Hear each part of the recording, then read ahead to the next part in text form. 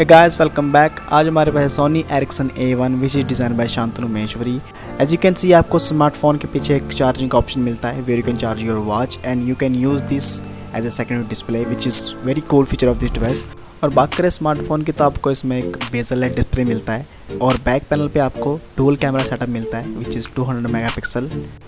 so overall smartphone is very uniquely design by Shantanu Maheshwari so have a luck on this